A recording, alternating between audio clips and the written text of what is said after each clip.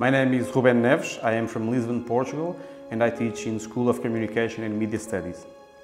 Matera has given me a huge culture heritage uh, vision. Uh, as soon as I arrived, I realized that this was not just an historical uh, place. It's, it's more like a, an ancient culture uh, feeling that you only get when you realize that uh, some families lived here, how they lived, and how they get along with each other. And realizing that it was a hard life, uh, it gave me an impression of a huge culture, important place. I used to produce uh, wildlife photography.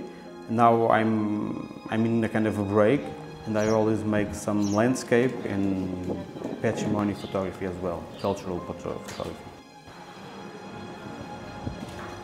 The role as a photographer, I think it's kind of a compulsory one when you are a photographer, which is try to make people think other ways, uh, try to make, take people from their, their, their safe place and start realizing that someone else can see the, the same thing in front of them in another way. That's mainly the, the most important thing, I believe.